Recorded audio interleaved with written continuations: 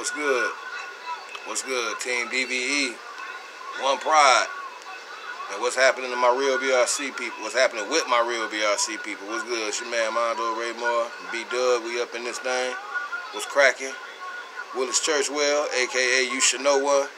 Y'all follow my man on Facebook y'all give a damn still. Translation if you still rocking with the boy. And anyway, Lions recap. Victory lap, whatever you want to call it. No, we're going to call it a recap slash lap.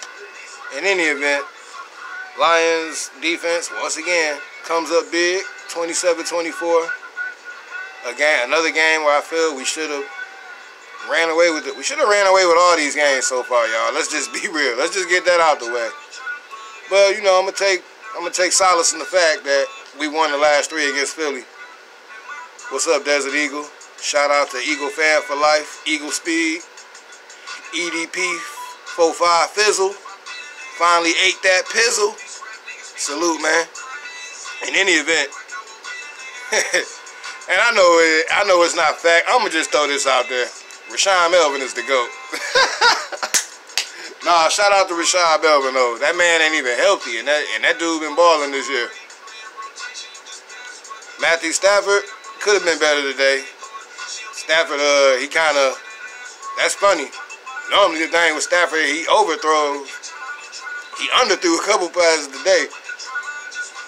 But he didn't get sacked. He didn't throw no pick. He didn't fumble. So that's the most important thing. Stafford will be better. He'll be better next week for sure. In any event, Darrell Bevell, salute to him. Lions ain't abandoning the running game. I love that. Stick with it. You know, we're not going to become a running team if we keep running from the goddamn running game just because it's not running well. Okay, I wasn't trying to wasn't trying to say that three. Don't say that three times in a row. But in any event, and one thing, you know, I don't feel we utilizing Kenny Golladay enough, man. I know it's gonna come. Maybe I'm just being greedy. Maybe I'm being selfish. I don't know. But Kenny Golladay is this dude is dope, y'all. We gotta do something this year, man.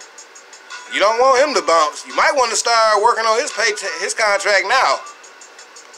But in any event, Darius Slay. I think I think Slay was on his way to having a good game.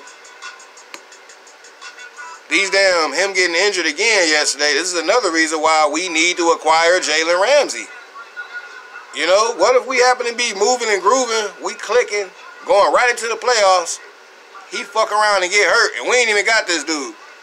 Justin Coleman good, but Justin Coleman can't carry that secondary the way I've seen Slay carry it. And Slay ain't even always been stellar, but for the most part, Slay has carried that secondary. Man, I like the gag on fucking Quandre Diggs and uh man, who else was that? Cause it wasn't just Diggs, it was somebody else too. I think it was Justin Coleman. Nelson Nelson Agholor, good move, boy. You dropped a lot of passes yesterday, but good shit, though. That was a good move. I hated we gave that one up. I think we gave up a couple of scores in that game we shouldn't have gave up, but, you know, like I said, Eagles is a good team.